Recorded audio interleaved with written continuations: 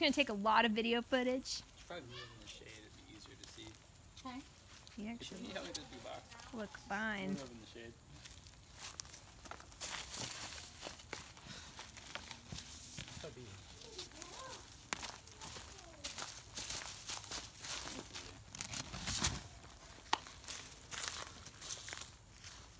That spider.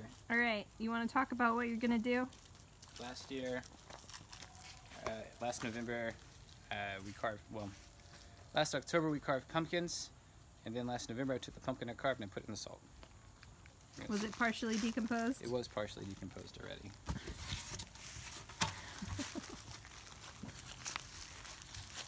it's kind of soft to the touch.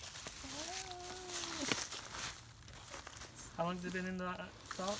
Since year. last November. It's like wet down at the bottom. the salt is. Oh, it's kind of. You should. I really think it did not work. Well, it was already kind of rotting to begin with, but I think it actually did kind of work.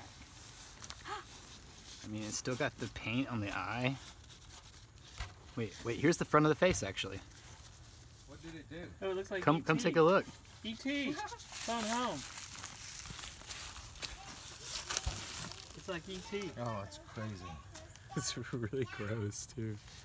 And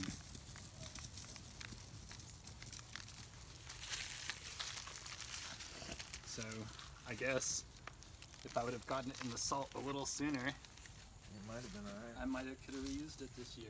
I think you still can. Probably. Pack it back with the salt and then uh, on Halloween, take it out it and put it on your porch.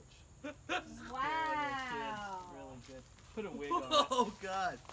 It's really gross. That's kind of funny. Look at it. Look at it. It's so good.